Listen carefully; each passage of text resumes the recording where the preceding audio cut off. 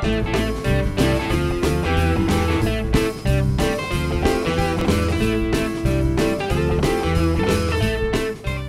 right, welcome to Track versus Track. I'm Jacob Rosdale. I'm joined with by, uh, as always, Matt Jensen and Emily Kutosky.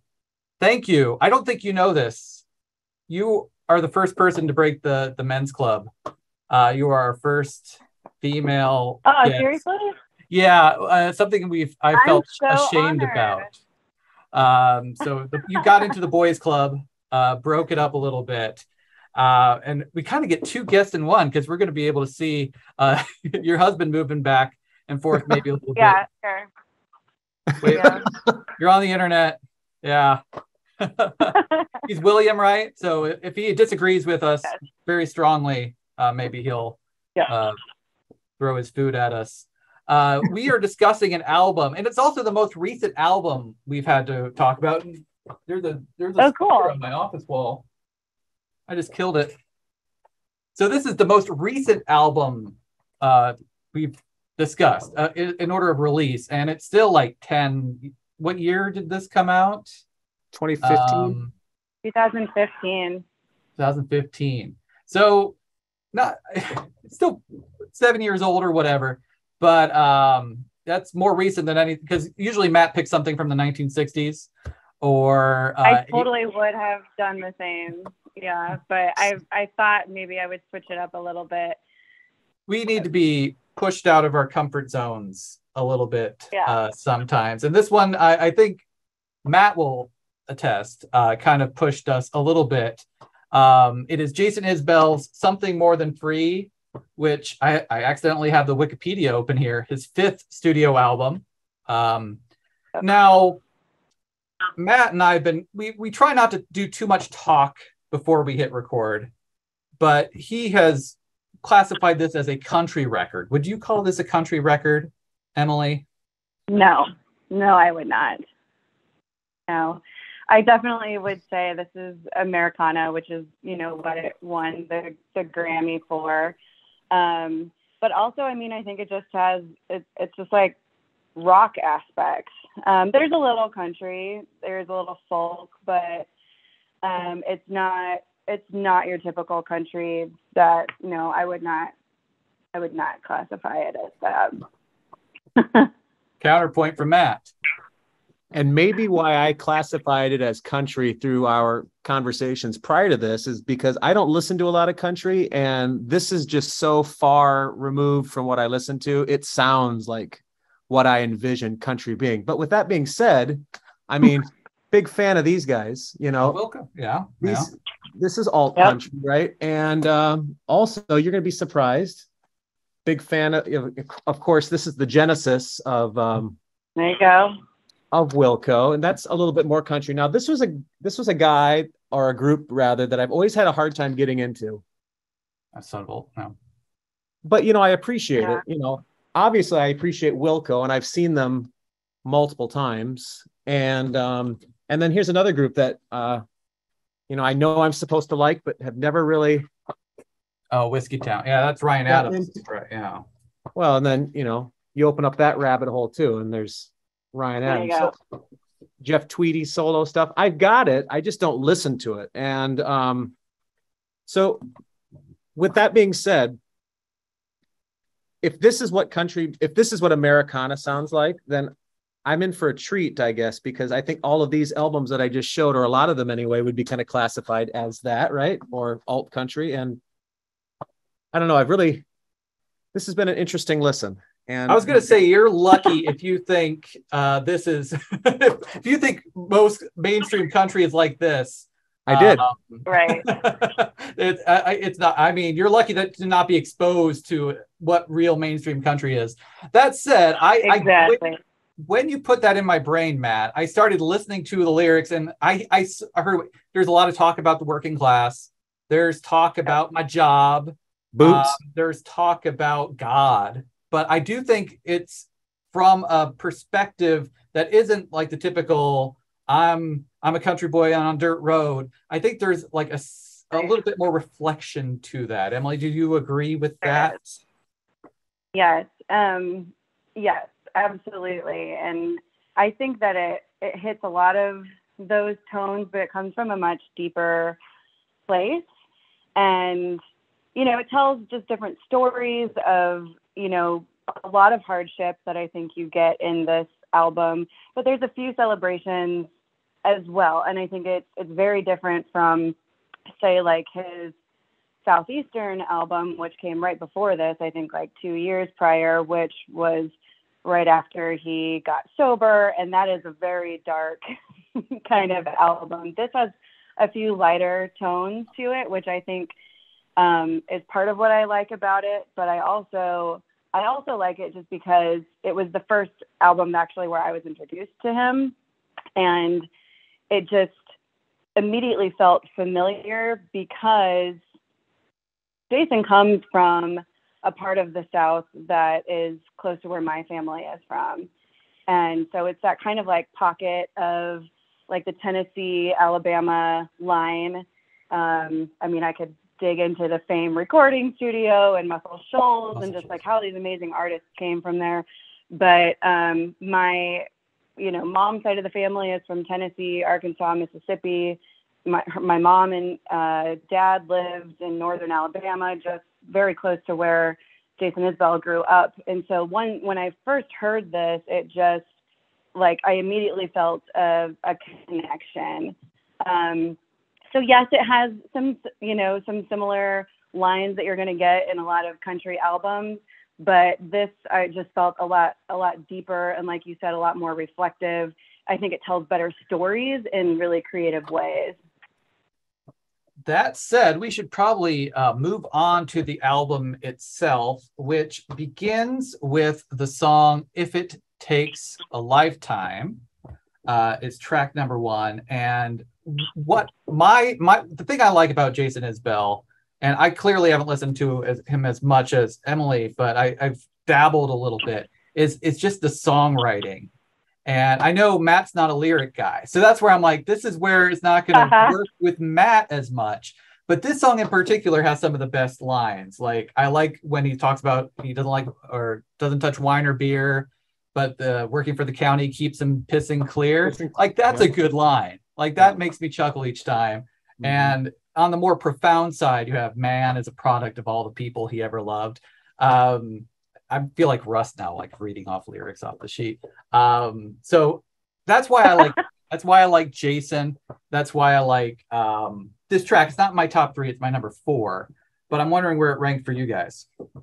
Wow. Well, I'll piggyback off that because it's my number four too. Um, right off the bat so this song i would say is one of maybe only three this is a slow album in general and jacob will know this but i typically don't like ballads either this certainly isn't one of them though this is maybe the second most up tempo song on the album um it kind of has a bluegrassy sound to it actually this one veers a little bit from country and more to uh to bluegrass it's got that kind of easy going um nature to it, uh, but it's not like a softy at all. I, yeah, the line that you just said about piss and clear, uh, that's that's my favorite part of the song too. And I like the chorus. I like the harmonies in the chorus, and um, yeah, it's it's it's a solid song. And I actually, when I first heard this, I was like, oh, I hope the album is more like this. And um, well, I have it at number four, so obviously I, I, I like songs a lot less than this one, but uh, it's not not my top three, but good song. Where's it for you, Emily? So it is in my top three. It is in my top three. I think for some of the same reasons that that Matt just said, it kind of like has a more up upbeat tone to it. It's kind of like this little sliver of happiness in the like somewhat like heavy um, album, but um, I just think it's a really relatable tune. It's probably why it it starts the record. There's also a line out trying not to live inside your telephone. Um, and I'm like, oh, I, yes. I know. Uh, like you got me. and why I say I, I've been familiar with Jason Isbell for a long time, but a lot of the reasons I don't listen to a lot of his stuff is because it does cut a little too close. Some, I'm, I mean, I'm not. I've never had a drug addiction. I don't live. I've lived in the South. I wasn't growing up in the South or anything. But there are some songs where my what like I got really into the his song uh, "If We Were Vampires," and my wife got so annoyed with me because every time we were in the car and it was on Sirius, I was like, it was like that Seinfeld episode with Desperado, and I'm like just stare off in, into space. Uh, she got so pissed off at me. Um, but uh, I, I wanted to preface with that because uh, like so much, this is the most I've listened to them, and still there's a few songs that still cut a little cut a little too deep. Um, yeah. Track number two, I believe, was a single. It is, tw- and you have a pooch behind you. Introduce your pooch. Oh, So that's Blue. He is, oh, there he is. Blue, hi. He is, I think, a husky mix. He just turned three. He has one blue eye, one brown.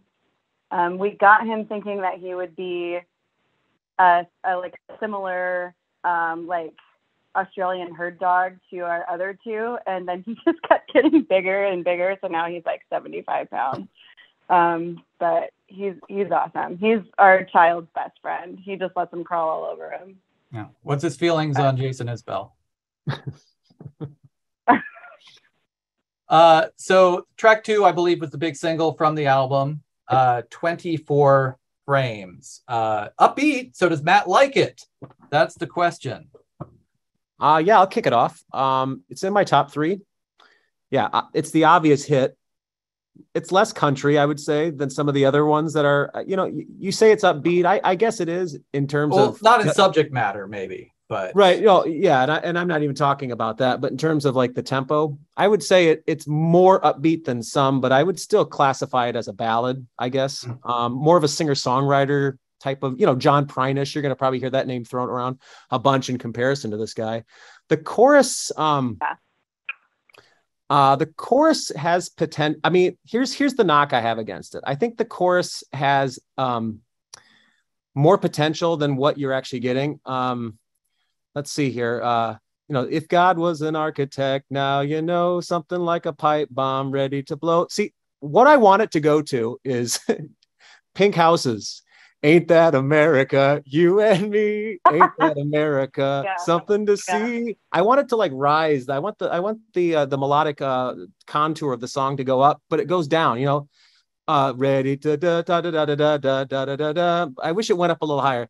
Da da da da da da. But then again, that'd be ripping I off agree. Mellencamp song. But I just feel like it's missing that. And maybe, and the song doesn't sound like Pink Houses, but for whatever reason, the chorus, I expect it to go into that melodic idea. But I like the song a lot. Super catchy. Top three for me.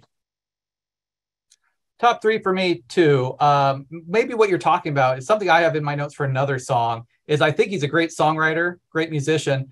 Uh, he can sing better than I can, but I do think he has a limited range uh, that he writes to. So that's probably why he doesn't do what you're accusing him of doing. Um, but yeah, it's a catchy hell, catchy as hell song, uh, and it's it has a film film reference as a title.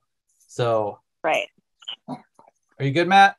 Oh, the dogs are who let the. T- I'm not gonna not gonna say that, but it's a very dog heavy episode. Carry on, guys. I'm gonna Okay. excuse them to the other room. Oh, all good. Hey, so Emily, where's it rank for you? Is it in your top three? It is not, um, but it is number five for me. And um, I think I kind of I agree with Matt. I think it's a really creative way to kind of like write about these little scenes from his life. I think that was a, like a really good analogy, just like the whole 24 frames, you know, concept. But um, I do think he kind of held back. It seemed a little, yeah, didn't take it as far as he could go um, musical wise. That's about all I got. I mean, I really No. was kind of You don't have to go Yeah. too in depth on every track, or else we'd be here a long time. right. Matt, You- I'm sorry, and I apologize. But I, I agree. It's a, it was it was easy listening. It was a good tune. I thought it was creative, but uh, um, yeah, it didn't really take me where some of the other songs did. That's for sure. Did you have this in your top three? I missed that. part. she's five. Oh, yeah, it It was number five. If it went up on that chorus to me, it'd have more hooks than a fisherman's cap, though, because there are a lot of parts to that. You know, I think that that have those nu- tasty little, you know, pop goodness nuggets. But yeah, just it. It's a. good- But I like. Obviously, I like it. It's in my top three. Uh, Yeah. Track three is, I mean, if you think 24 frames is a slow one, uh, I don't know where you fall. you fall asleep uh, on track three, which which is called Flagship. I mentioned we were vampires Yeah. already. That's probably his biggest hit uh, to date. This one felt like a dry run for that, honestly. Uh, very similar subject matter about getting old with someone. And if you're a softie like Yeah. me, that, that goes a long way. Um, I it's my five though, uh, just because there's other tracks I like. But I, I mean, I'm I'm not made of stone, guys. This You're not. You're you're the flagship of the fleet, man. I am. I'm. That's why I get the top top left square. Uh, uh, where does it rank for you, Emily? Uh, this is my number eight. Whoa, I, I think okay. it's sweet. Um, I love, you know, I do like the story he was telling with this, but I mean, that's all I have to say. Like, it was sweet. I liked some of the different phrases he used to, you know, show his his love for this woman. Um, it was a beautiful song, but it was it was simple, and that's that's really all it was for me. no real hook. Matt, how low does it go? Uh, I'm I'm kind of in, in the same ballpark with Emily. I have it just one notch lower. I have it at um, number nine. So here's this song sounds. This actually doesn't sound like very countryish to me. This sounds like contemporary musical theater. And what I really think this song sounds like, it sounds like it's from Dear? Evan Hansen. It sounds like it's from Dear Evan Hansen. Oh, because you know she got her shoes shined and then she liked his boots getting shined too. So he went and got those for seven dollars more. She shined he, he got his shoes. Shined. i don't know. It's it's it's cute. It really is. It's a cute pre- it's precious. This song is precious. And uh it sounds Yeah. like that evan Yeah. Hansen i don't know if you guys are familiar with evan Hansen yeah, yeah. but there's this one song that he sings like she said da da da da. It's, it's the song he's singing about like what his bro- he's portraying that the brother was saying all these nice things about his sister but he's making it because it's really how he feels about her that's what this song reminds me of melodically anyway and Yeah. it, it's it's it's a little it just borders on the cheese side for me but it's you know it's it sounds pretty it's it's a pretty song Yeah, I agree. Yeah, but there's no real hook. I, I get why it's mid. I get why it's mid or lower. Um, so it seems a checkerboard between broken relationship songs and happy relationship songs. Uh, this is a broken one. This is How to Forget, and uh, this is the one I have in my notes that I feel is the weaker vocal. And if the, he was a better singer, someone really could nail uh, this song because it has a good hook. Um, and part of, and I also have this is where in my notes I have is Americana just what people who don't want to admit they like country music call country music. uh, like this is, and it, it could be because Isbell gets put in this category with like Sturgill Simpson and um, the people that are true like like country, but they're Democrats. But I don't know. I like the song, but it's not my number. It's still down as my number seven.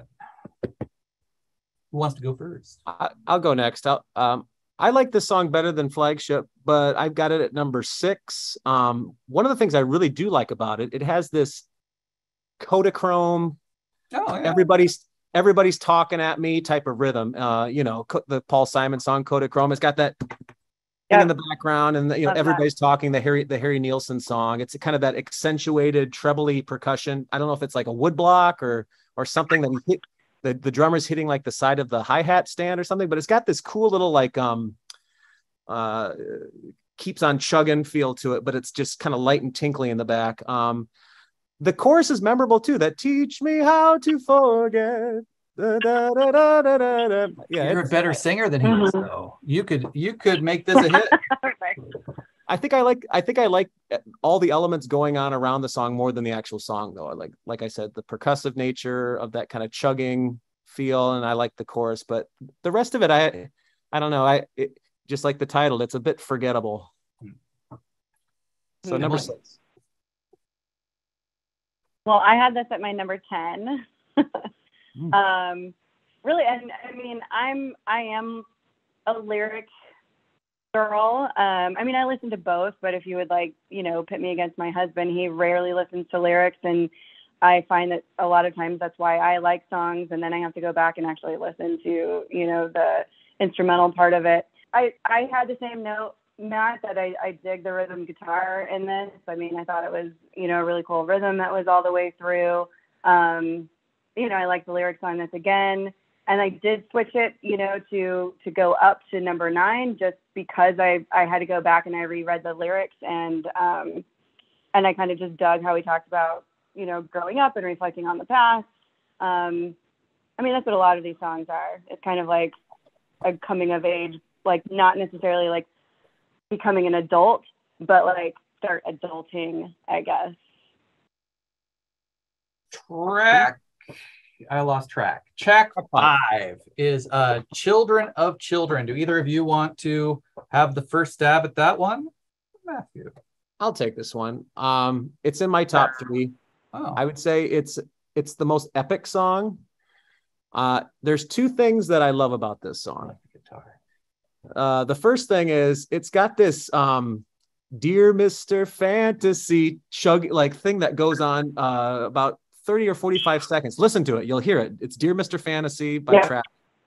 And then there's also at the end this beautiful um, symphonic orchestrated sound that sounds a lot like uh, something by the Verve, like you know, um, Bittersweet Symphony or something like that. And I love both of those songs, and it kind of brings them all together, but without being a ripoff, you know, of those elements.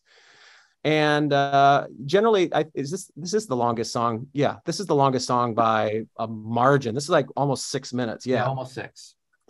and it doesn't get boring for me. And where it's located in the album, it's just kind of now. If this was at the end of the album, I might I might not like it as much. But I, you know, my attention is still Yeah. there. It hasn't, hasn't waned at this point. It's just a, a a great place to to put it. Um, it doesn't have a lot of catchiness to it, other than those uh, you know teases of those two songs. But it's just and and it's not very country. Maybe that's maybe that's another thing. It's it's it's got more of a kind of a mystical quality to it, you know. Um, and I couldn't tell you about the lyrics because I'm not a lyric guy, but just the overall vibe, tone, sound of it, it it's in my top three. Emily. Um, I did have it in my top three, and then I and then I switched, and now it's my number four. Um, but a lot of the same things that that Matt just said. Um, really, I I kind of got like that really cool like 60s, 70s like psychedelic rock vibe, um, especially towards the end. I thought it was almost like Pink Floydish, um, like towards the end. Um, I really, I this is my favorite instrumental song. If I wasn't such a lyric person, this would definitely be in my my top three. I will tell you about the lyrics though. I mean, again, it's just it's sad. Um, I think like a lot of I mean, this is just like where the blues is from, right? Like this a lot of songs and songwriters that come from this area of the South always have kind of like a sadness or like hardness to them. And I don't think this is any exception. A lot of the stories that he's telling on this album fit right into that.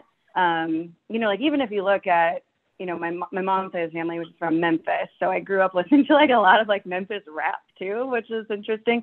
And like those those artists are super hardcore just because it's a hard life, it's a hard city. Like I think just this general area of like Alabama, Tennessee, Mississippi is just it's just hard life um, for a lot of people there, and um, I think that's what this album really touches on is just all of those different again like a lot of sad stories a few glimmers of of happiness and a few songs but this was a very sad song i mean it's about a girl that is having a child too young and the lyric um and like generations that are having children too young that's why it's called children of children um there's a, a lyric that you know just says all the years I took from her just by being born. Like it's a kind of son's guilt of like doing that to his mom, which I just feel heartbreaking. Um, so yeah, could have been top three. I put it at four, but lo- love love this one. Yeah. I don't have much to add other than I feel like I've underrated it based on how much you guys have talked it up. Uh, I have it at my number eight. uh, I liked the the instrumental like symphony or whatever you guys called it at the very end. I just put down guitar because that's the thing that stuck out to me. uh, I call this the very the most Neil Young of the track. It has like a harvest harvest Yeah, sound I could see uh, to his vocal to it at least. But um, yeah, I guess maybe because it didn't have uh, it wasn't as catchy as some of the other tracks, and I'm I'm a slave to the hook. Speaking of which, It brings you back. uh, track number six, "The Life You Chose," is in my top three because I think it has a heck of a chorus. It's my favorite chorus. Um, also, talking about favorite lines, I try not to do this too much throughout the album, but I do like the idea that he got lucky when he finished school by losing three fingers to a faulty tool.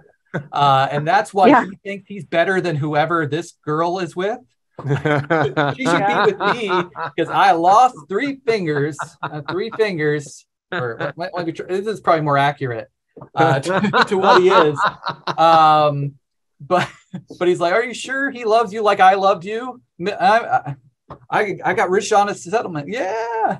but I like it. It's in my top three. Uh, it's the one. it- It's just kind of. I like how he calls her kid in the chorus too. Like, uh, Yeah.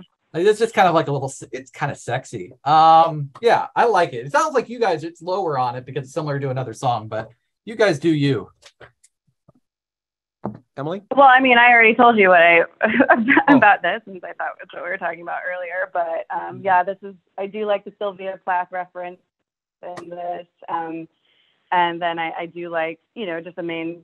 Are you living the life you chose or the life that chose you? I was kind of reflecting on that and like what's the difference between the two, and um, so I did some thinking on it. But again, this was my um, number ten. Should have chose Seven Finger Carl. That's what I'm going to call the character of this song. Hmm. Where's it for you, Matt? Yeah, I mean, Emily and I have the same logic on this. I have it at number seven, so this is just one tick below um, "How to Forget," which I had at number six. You know, it's it's very similar in feel. Uh, it's more of an upbeat one. You know, you got the strumming of the guitar. Now, this may this may be a reference that that you're not aware of, but it sounds exactly to me, at least the the verses of the song, like "Heavy Things" by Phish. It's got that "Things Are Falling Down on Me" kind of vibe to it. But I love the chorus. You know, is this the life you chose? You like a da da da da da. I yeah, um, I, I I dig the song, but it's you know it's it's kind of a middle of the road track to me, and I just like it maybe just a, I mean, how to forget and life you chose. I could flip flop those two, but I have it for number seven. All Yeah. right, we're past the halfway point, uh, and we get to the title track, something more than free. Which I, I, this is the one where I was like, this is what Matt's talking about when he's talking about country. but I, I Yeah. think it's kind of, it's, it's more. I don't want to say he's pitying the the protagonist, but I, I think he No. is looking at him in a way removed, other than a typical country song would look at him because he's he's so tired from work and he can't go to church. But every hammer needs a nail. Like there you go. Yep. I mean, I. But I, this is where like, am I now? Am I projecting what I like because I want to like this guy? Do I think this is a different than a typical country song? I don't know. I, it's in my middle. It's my number six, but um, I really liked it before you put you incepted this. It's just base basic country into my head, Matt. I'm sorry. It might have been in my top three at one point, but now it got knocked down.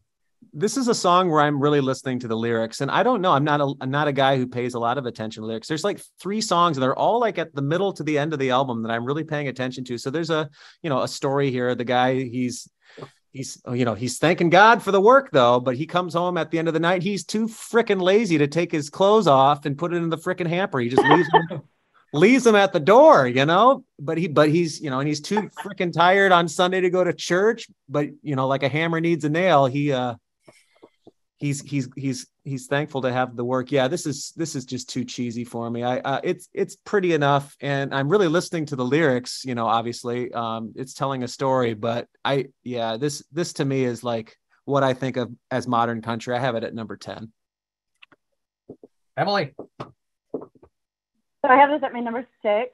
Um, Yeah. I probably get a little bit more of a perspective. I totally, you know, see how, you know, there's, it fits in with a lot of, you know, country genre. Um, I, I did read that he, he wrote this about his father. Um, and he really was, you know, just had, he was a very hard worker. I can't remember the job that he had, but, um, you know, church in this pocket of the South is, is a big deal. Um, my, it, it really, it made me think of my grandfather in, in Memphis who, you know, uh, worked for a, furniture um, store for most of his life. And when we, he retired from that, he went and worked for like a TV repair store. And so he was delivering TVs into his 70s. And like when my grandma just wanted him to like retire, um, but they, he was never too tired to go to church. So that just made me Wow. think, I'm like, what is this guy doing where he's like so tired to go to church? um, so I, I mean, I, I saw some similarities between the guy that he's talking about and my own family. I get it. Um, it is, does get kind of cliche. Um, I do like the the premise of you know that this guy is thinking that his reward is going to come after this lifetime, and so that's what he's working for. And so um, that's that's what I did like about it. I think it's a, it's a cool song, um, but it's kind of right in the middle of the road for me. Number six. Track number eight is another story song, I'd say. Um, Speed Trap Town, slower, but I I suspect this is one of the slower ones Matt might like. No, no, no. I I, I No. don't like one particular. you don't like it at all. I mean, it's it's another one of these story types. It, it's got a very Springsteen, you know. I was gonna Bruce is way in of my telling notes. stories. Yeah. And this I is thought the funny same. Because Mhm. em- Emily, you were saying that um, the uh, the the previous song was was kind of a, an homage to to Jason's father. See, for whatever reason, I was thinking that his father was like a sheriff or something that's now dying of cancer, which I think is you know isn't that kind of what the story is? And but, he's yeah. pulling over Yeah. pulling over women in the speed trap town and and the son's really like having these thoughts like how he hated his dad but now that his dad is is dying in the hospital bed he's take he's sneaking in drinks to the high school basketball game on a thursday night and uh yeah it's it, I like it more than than something more than free, but it, it kind of still sits in that wheelhouse of of country to me. And so I have it at number eight. Uh, I thought the Bruciness of it would bump it up a little bit. Um, I talked about one of the things I didn't like about Bruce is that he never has like a, a motif or a like like this was reminding, reminding me of like that whatever by the river like when we did um Born to Run that meeting by the river song. But Oh, I didn't like that song because it didn't have like a chorus, and this doesn't really have a chorus, but it has a phrase it keeps returning to. It has like a structure Yeah. uh, and I don't know. I I I really dug this song. This is, I mean, it, it is kind of slow. I'm not again. I'm not made of stone. I got a dead dad. Yeah. This is in my top three. Emily, Um, again, I I kind of have this along with with Matt. This is my number seven. So, um, I think I don't know who he's talking about in this. I don't think it's his own dad. I think it's just a story that he's tell it- just that he's telling. Um, I don't think it's specific to the South. This could be any small town, which is what just made me think of Springsteen as well. Like this, this easily could have been any small town across the United States. So I think it's really relatable. Um, but it seems, it seems like it's been done. Um, but again, I mean, I, I felt it. I mean, there are aspects that I, you know, definitely could um, see myself in and my my upbringing and childhood. But um, yeah, number seven. you guys were both raised in too big of towns. You were raised in a city, Matt. You're a city kid. Yeah. You don't know what it's like in this Hey, Attica, Iowa. town with 800 people, so that's pretty. All right. Um, track number nine, Hudson Commodore. Again, another like he's really doing the the thing where he writes about a person and not not always about himself because it's about a, a lady who lived. This is a sub subset of uh tracks going back to I, I don't mind I, I could have made a Taylor Swift reference. I'm not going to because I know Matt won't get it. Um where's it ranked for you? Where's it ranked for you, Matt? Uh, I have this one at number five, and um, to me, this one kind of strays from the contemporary country and has more of a folk sound to it, particularly like that arpeggiated, um, finger-picked guitar part during the verses. And I freaking love the chorus. Just wanted to run, and the harmonies just like come out of nowhere. Yeah.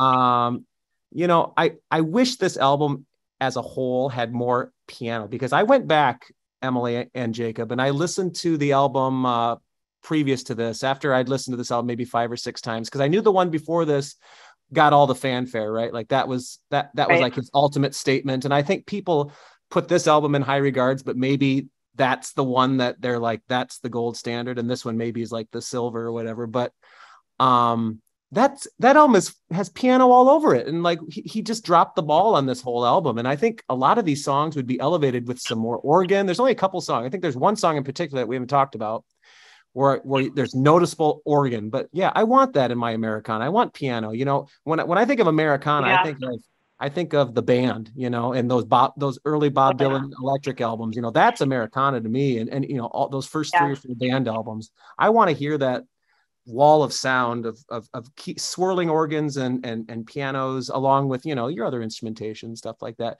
But I love that chorus. And uh, I would put it higher if there was just a little bit more meat and potatoes to the arrangement of the song. But that chorus, man, that chorus might be the best vocal part in any of these songs but uh you know yep. based on the whole you know the whole performance i'm putting that at number five emily i have this in my top three um just because that chorus is badass and i love my harmonies. And i think also you know one of the reasons why i love a lot of these songs or just this album is it's in my range. And so i can sing the hell out of it um and i and i really like it. Um but I, I really like your your comment about just like the difference between these two albums and the the instrumental part of it is I mean they were recorded in two different studios I think um, and where and I love that you bring in Levon Helm because he recorded in the Fame the Fame recording studio in Muscle Shoals where Isbell grew up like I see a lot of similarities between the band and that persona um, and Isbell. Maybe not so much in like you see it in little like glimmers, like in this song, which is why it's in my top three. I love it, um, but I agree. I, I wish I wish he kind of like went for it more um, in those in those aspects. But I, I love this song. It, it reminds me of, you know, my my great aunt Emil who flipped off the entire family reunion back in 1996. you know, it, it reminds me of my great aunt Nadine who dated Johnny Cash. Like, you know, so it's that same, you know, era of just like feisty, kind of rebellious Southern women. Um, I see, you know, parts of myself in it, you know, just for the same reasons. And I don't know, I love this song. Top three. Yeah it's it's my number 10 uh, i feel bad I, again i'm like i must be listening to it for different things than you guys uh, but yeah that chorus is good um, I, I, think if it was higher in the album it honestly would be higher ranked for me because i think by this time when i every listen i'm i'm i've already given a lot of my high numbers away uh, and it's hard to reevaluate because I'm looking at the bottom three, and they're they're the the last three tracks of the album are my my last three ranked because I think I just I I, I like so many of the other songs that I'm like, oh, I I, ha- I can't rank these any lower. So these later songs have to be my 10, 11, and 9. Um, and that's what 11 is. Uh, Palmetto Rose, it's my bottom track. It is the second to the last. And I I knew Matt would like this one because it's bluesy, but uh, it I don't know. It just one just feels like scraps to me. Feels like three different songs smushed together, and every one of those aspects are, might be good, but I don't think the bluesy thing goes into the chorus, goes into the bridge. And they feel like three different songs, and that's the only reason. Since I like the craft and all the other songs, that's why this one's at the bottom. I, and oh. also, this is the one that feels the most country to me because this is unabashed. I love the South. This is a, a Southern lo- love song Matt, tell me how much of an idiot I am. No, no, no. I, I'm not going to speak on the lyrics at all because, to be honest with you, I don't. Is, is Palmetto Rose a drink? Is that a cocktail or I something? I assume so. And the okay. iodine state is South Carolina. And the iodine state. I will tell you. So a palmetto rose, they take the fronds from the palm tree, so like the leaves from the palm tree, and they actually like make it into like a rose, like a, oh. a flower. That and like and it's a thing it's like what you know people on the street might you know like you buy a rose in new york or wherever like you would buy a palmetto rose like hmm. yeah i like the song better when i thought it was about a drink yeah me too i might need to bump it out of bump it out of your top three now i need to i might need to bump it out of my top three now because yeah no i don't like that uh no it's in my top three and, and jacob what you didn't like about the song and i totally get it how it's you know three kind of half-ass or uncompleted songs put together. But to me, that that's what I love about the Beatles, man. I mean, well, a day in the life. You never get you never give me your money. And, you know, when we did when we uh, our very first ranking, Emily was uh, um, McCartney's Ram and you know Uncle Albert and Admiral Halsey. You know, it's got and, and the back seat of my car. They're just fragments of songs put together. Paul's notorious for that, right? And sometimes it works and sometimes it doesn't. And for this song, I think it really does. That opening section has a very ZZ Top style, like you know, La Grange. It's, gritty. It sounds nothing like the chorus, though. The chorus has another one of these like big bombastic har- harmony sections, kind of like um, Hudson Commodore when you know she wanted to run section. So the chorus has this big bombastic gang-like harmonies, and then the ending, the third section, is this like beautiful orchestrated um you know kind of like i talked about the verve bittersweet symphony when i talked of children of children like that the end of this song has like elements of the end of Children of Children. So it kind of brings all three of those things that I like.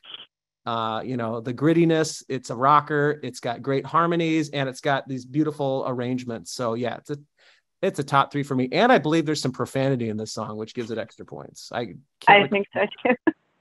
I think if he maybe he did a uh, goofy is... voice like Paul McCartney does, I would have known it was intentional.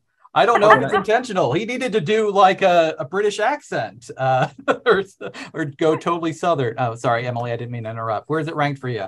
No, you're good. So this is my top three. Um, again, like a lot of a lot of the same reasons. Well, but um, initially, yes, I initially I really did just dig the chorus, and it's probably what I was just like listening to over and over again. I really liked, you know, the iodine state and um, but then when I really did start listening more to the lyrics, um, again, it's just a bunch of like really like mini interesting stories from South Carolinians, and um, I do like the reference, you know, to the Palmetto Rose. Um, but the the rhythm guitar, I, I said the same thing. That ZZ Top for sure at, at the at the top, and then um, yeah, I just I love that chorus. This is, this is top three.